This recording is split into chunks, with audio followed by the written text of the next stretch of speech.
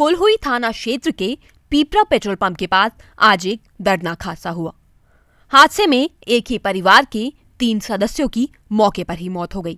वहीं दो लोग गंभीर रूप से घायल हो गए। सभी घायलों को उपचार के लिए BRD medical college Gorakhpur refer किया गया है। कोलोई थाना क्षेत्र की घटना है।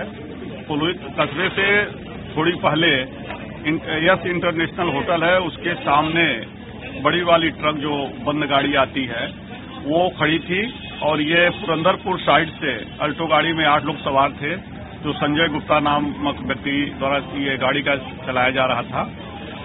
वो खुद बता रहे हैं कि मुझे समझ में नहीं आ रहा है कैसे गाड़ी डिसबैलेंस हुई है। सर कितने लोग घायल हैं और कितने लोग की मौत हुई है? टोटल आठ लोग बैठे बैठे थे तीन घायल हैं तीन की मृत्यु हुआ और दो गंभीर रूप से घायल हैं जिन्हें बीआरडी मेडिकल कॉलेज